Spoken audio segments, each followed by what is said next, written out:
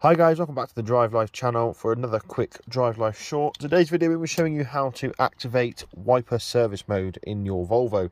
All you need to do, put the key in the dash like that, press and hold the right hand stalk up and there you go. Wipers stay in the service position.